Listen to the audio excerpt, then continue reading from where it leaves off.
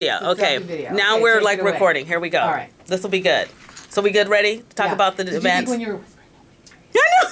I'm trying to say we're gonna get this. We're gonna get we this. We have cough buttons and off buttons. I know, and we never push them. We never push. them. It's just, like, ridiculous. think nobody's.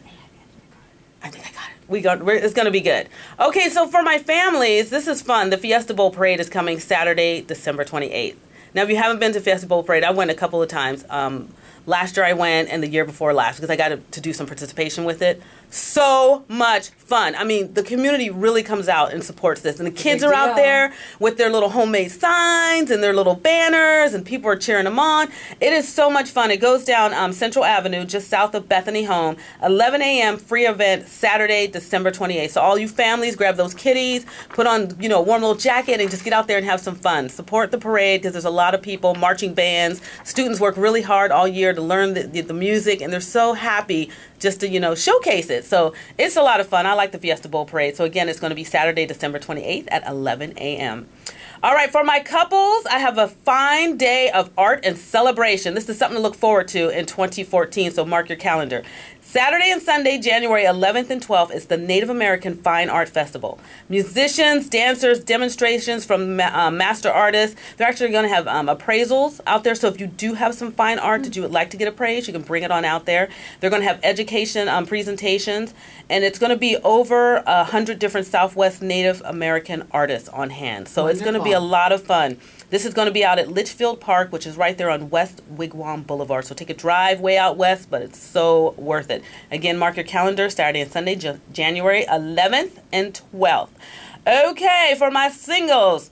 I was looking for something fun and different, and then I came across this, and I thought this sounds so cool. We're a little worried. I love wonder, Are we? We're, we're worried when she says no, fun and different. no, no. This is going to be good because I love horses. So it's a free event, and I'm always looking out for you, trying to save you a little money. Okay, this is free. The Arabian Horses Farm Tour. It's the seventh year they're doing this. It goes from December 28th through January 1st. It's in Scottsdale, and the best part is, is each day they um, introduce you to a different breed of the Arabian horses. And they have a showcase, and you can meet the trainers. You get to walk around. You get to get up close and personal with the horses, something that's really rare because a lot of times you don't get to do this. And you get to see them in their natural, you know, environment Are out we allowed to there. bring carrots? Well, maybe you can bring some apples, Oh, carrots, I, doubt don't it. know, They'll feed probably them. have I don't know. You gotta turn your mic off. Other one. But it'll be good. Okay, it's a we- lot of fun. I said I doubt it. They probably have a fit if you fed those Yeah. horses. They're very I'm expensive. They're just trying to stir it up. particular, you know, maybe sneak it in. Be bad. So it's a lot of fun. Again, mark your calendar for this one, um, December 28th through January 1st. It is in Scottsdale. If you'd like more information, you can go to ArabHorseFarmTour.com or you can call 480-440-7875. And let's spell out that website. It's A R A B horse H O R S E farm F A R M tour T O U R dot com. My first piece of advice to that group is to get a shorter website. Yeah. My second piece, no, I'm kidding. You never want to. You never want to tick off a horse person.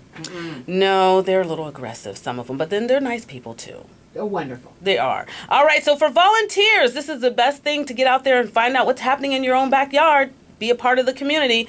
This is really cool. I put a blast out on Facebook and I got such positive response. So I want to thank Yolanda, who works out at the Genesis Care Home, which is in Maricopa. She said that they are always looking for volunteers to help out with the senior citizens. Oh. Wouldn't that make a senior's day? You come out there, you spend time with them. They love to tell stories, show you pictures, and what they need is they just need volunteers to do this just that spend some time with them you know sharing some music arts and crafts maybe read to them. Some of them like to go for a walk around the facility. They just want you to come out and spend some time with them brighten their day. So if you'd like to do that they are in maricopa um, it is 22509 north celtic lane right there in maricopa. Or you can call yolanda. She is a manager over there at 520 582-6929. She's a really nice lady and very helpful. So get out in the community, have some fun, and just make it, you know, round out this year positive and go into the new year doing Yes. something good, you know? We all need to be able to Yeah, it'll be fun, yeah. And Diva Danielle always makes time. And I've got to do that in 2014 too.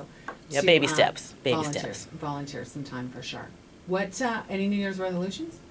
You know, I try not to make resolutions because you disappoint yourself. So I just try to say I'm moving in a positive direction.